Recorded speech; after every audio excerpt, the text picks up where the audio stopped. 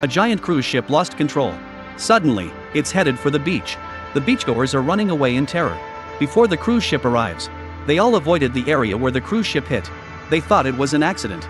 I didn't realize there was a bigger danger. The next day, a bored girl went to the garden to sunbathe. But when she turned her head, she saw some deer not far away. Curious, the girl went over to check it out.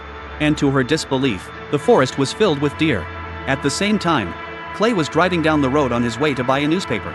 But the road was empty. The radio was dead. Clay was worried. Then a woman appeared in front of him, shaking her hands. Clay stopped the car, and the woman was talking to Clay in a nervous manner. But Clay didn't understand a word.